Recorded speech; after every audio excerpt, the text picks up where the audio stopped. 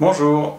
Hier, nous sommes allés chercher quels sont les domaines dans lesquels nous sommes dans la maîtrise relative, hein, c'est-à-dire très bonne maîtrise jusqu'à une maîtrise tout à fait convenable, en tout cas qui nous convient.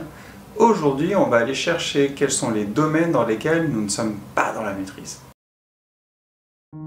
Alors, je vous rappelle, pas dans la maîtrise, ça peut se traduire par en fait j'ai du mal à prendre des décisions pour moi, à prendre des décisions moi-même, sans éventuellement l'aval des autres.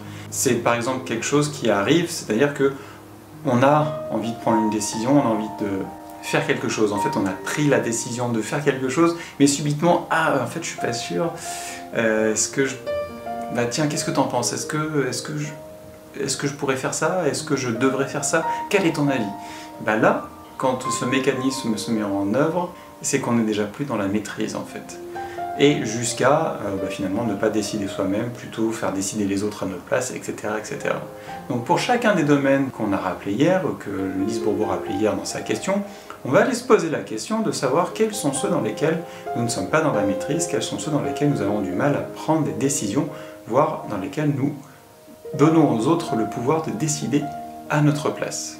Une fois que cette liste est établie, et peut-être même en établissant cette liste, on peut se demander pourquoi, quelles sont les peurs, quels sont les mécanismes qu'on a mis en place pour, je vous le rappelle, nous défendre, nous empêcher d'aller vers des situations qui sont désagréables pour nous, mais qui aujourd'hui nous empêchent d'être maîtres dans ces domaines, d'être maîtres de notre vie.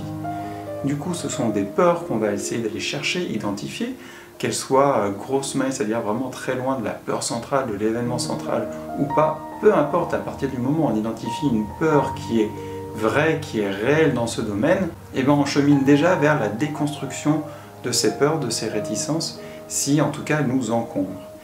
Parce qu'en fait la question à se poser, c'est est-ce que cette peur est vraie? Je dis ces vraies peurs, elles sont vraies. Elles sont vraies à l'instant où on les vit. C'est-à-dire que tout de suite, il y a le signal qui arrive, on se laisse envahir, on se laisse stopper par cette peur. Pour autant, est-ce qu'elle est toujours d'actualité? C'est un peu une sorte de réflexe qui revient.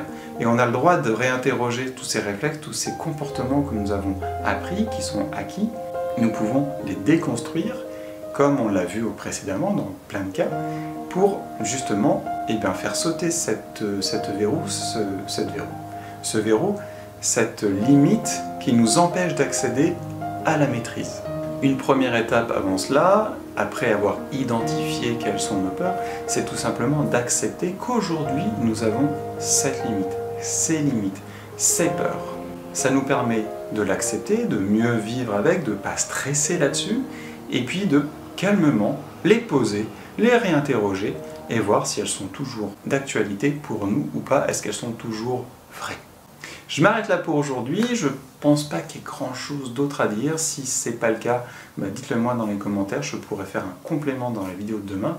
D'ailleurs en parlant de complément, dans la vidéo d'hier, euh, je pense qu'il pourrait être aussi intéressant pour nous aider à déconstruire les peurs, à essayer de voir comment on peut faire pour aller vers plus de maîtrise, c'est d'identifier comment on se sent, dans quel état on est quand on agit dans les domaines dans lesquels on a une parfaite maîtrise, ou en tout cas une meilleure maîtrise de nous que dans d'autres voir quels sont les ressorts qu'on utilise, quelles sont les ressources sur lesquelles on s'appuie, comment on, comment on se sent, comment on est, comment on vibre, pour voir comment on pourrait transposer ça dans les domaines justement qu'on a repérés aujourd'hui, pour essayer d'aller contourner, désamorcer ces peurs et bah, finalement acquérir plus de maîtrise dans chacun de ces domaines.